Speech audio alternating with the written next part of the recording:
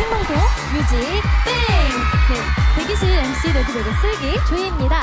오늘 대기실엔 이번 주 컴백팀들과 함께합니다.